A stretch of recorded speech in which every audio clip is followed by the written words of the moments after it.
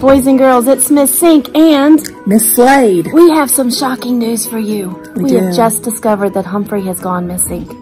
Do you know where he is? Do you know where he is?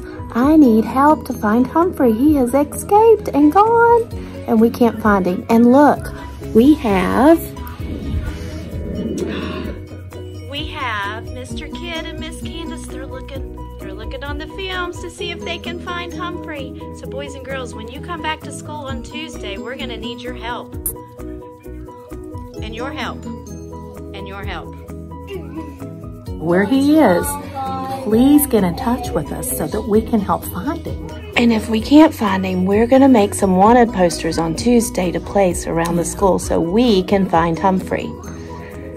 All right, so be thinking. Bye. Boys and girls, we are so upset about Humphrey being gone. We are going to offer a $10 Be Bug reward if anyone leads us to where Humphrey is. So be thinking, did you see Humphrey Friday? And let us know.